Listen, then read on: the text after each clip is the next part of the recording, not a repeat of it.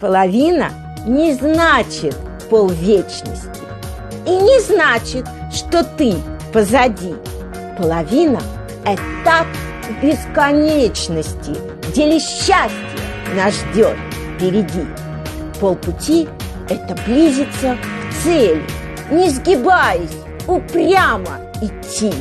Ведь под ветром летают качели, но всегда остаются в оси.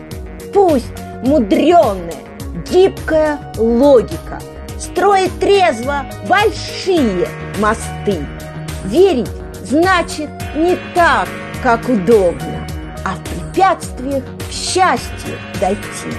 Все сбывается, если сознание вдруг увидела нашу мечту.